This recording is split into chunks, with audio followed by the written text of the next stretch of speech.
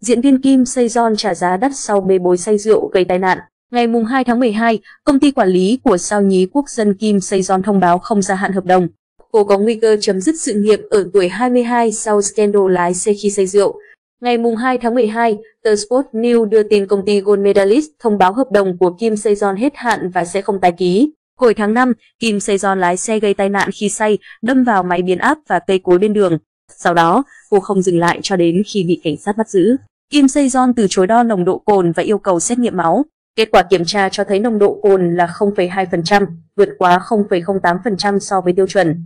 Máy biến áp bị hỏng khiến cho cả khu vực bị mất điện hơn 4 giờ, đèn giao thông ngừng hoạt động khiến xe cộ ùn tắc nghiêm trọng.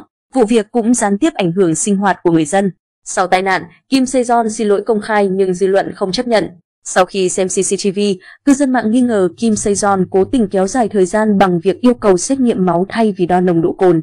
Vì scandal, Kim Sejong buộc phải dừng lại tất cả các dự án đang quay, bao gồm bộ phim Hunting Dog của đài Netflix và Charlie của đài SBS. Tháng 11, Kim Sejong chia sẻ phải làm thêm ở quán cà phê vì gặp khó khăn trong cuộc sống sau khi tạm dừng hoạt động nghệ thuật. Gần đây, Kim Sejong lại gây sốc khi say xỉn trong tiệc sinh nhật. Nữ diễn viên gửi thiệp mời cho bạn bè và thông báo đã chuẩn bị rượu cho bữa tiệc nên cô lại bị chỉ trích vì không cai rượu sau bê bối.